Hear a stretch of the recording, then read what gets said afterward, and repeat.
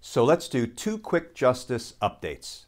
One involving Congressman Matt Gaetz, the other involving Postmaster General Louis DeJoy. Why are we updating these two stories? Because justice matters.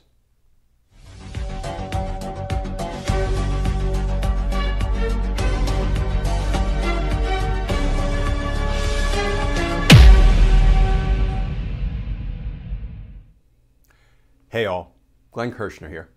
So let's do two quick justice updates. One about a corrupt congressman, and the other about a corrupt postmaster general.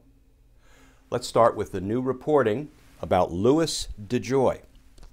Here's how the Washington Post broke that story today.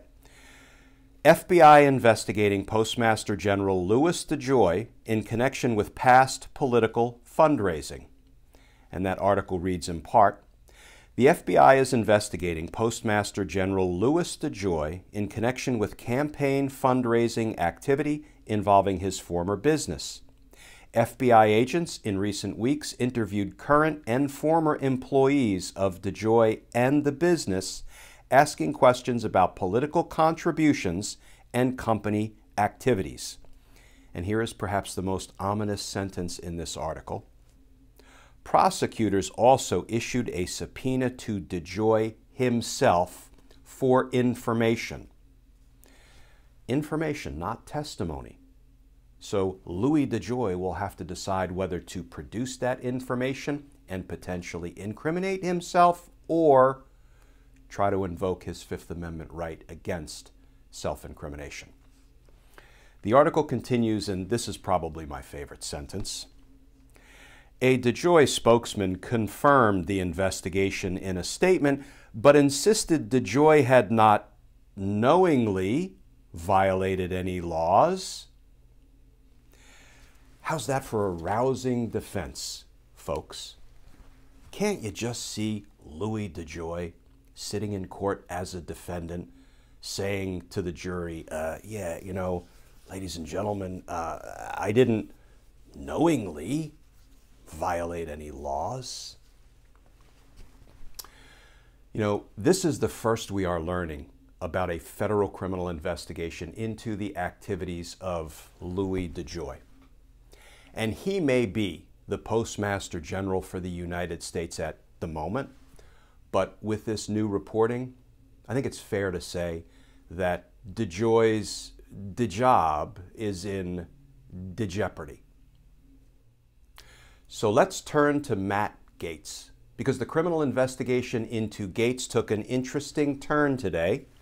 Here's how the NBC News headline reads Federal prosecutors investigating Representative Matt Gaetz for obstruction, law enforcement source says. And here is some of the reporting about that from Politico. The obstruction inquiry stems from a phone call the witness had with Gaetz' ex girlfriend. At some point during the conversation, the ex girlfriend patched Gaetz into the call. While it's unknown exactly what was said, the discussion on that call is central to whether prosecutors can charge Gaetz with obstructing justice, which makes it illegal to suggest that a witness in a criminal case lie or give misleading testimony.